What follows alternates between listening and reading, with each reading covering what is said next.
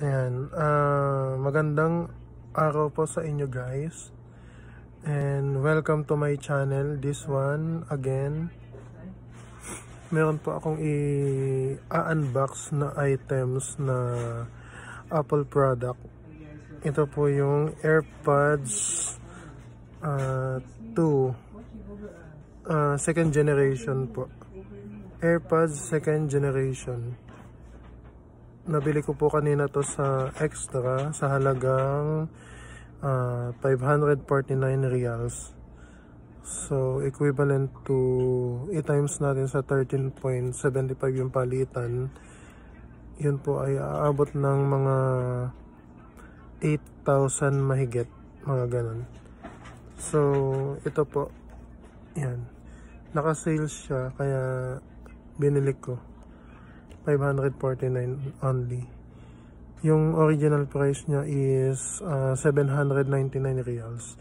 Kaya po medyo malaki na save. 200 plus po yung na-save ko.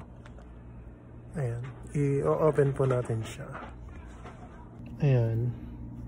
AirPods second generation. Ayan siya. Siya ay made made in Ireland.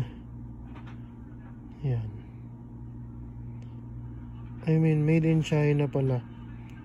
Parang sa mga ano din, iPhone, usually yun yung ginagamit nila. Assemble in China, pero galing siya sa California. Ayan, i-unbox pa natin siya.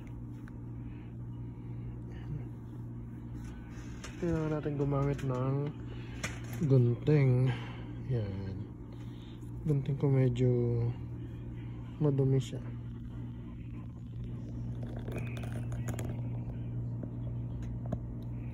Yan. Ah, ay nahiwa na yata. Yan siya.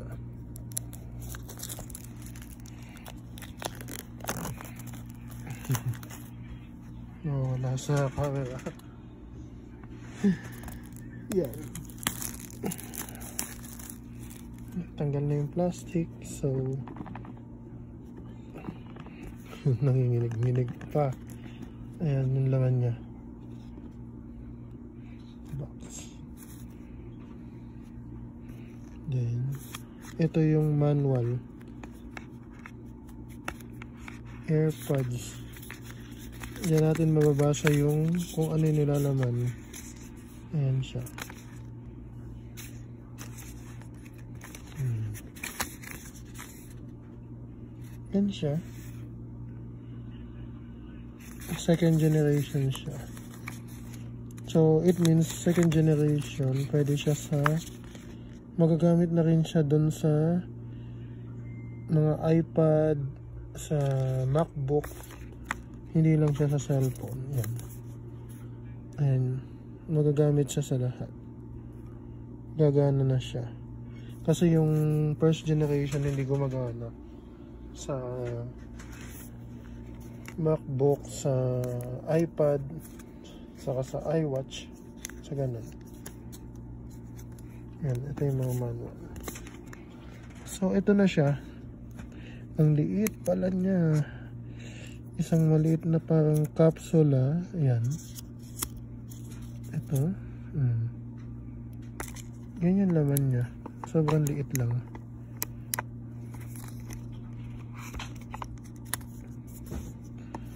So bali ito yung pinaka uh, pinaka base. Mahirap. Yan ito na siya. Napakakintab. Yan. May ilaw siya. Hmm.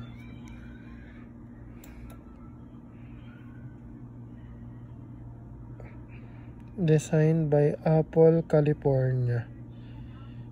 Assemble sa China rin. Yan. Yan siya yun lang yung laman. At meron din siyang wire sa likod. Ito.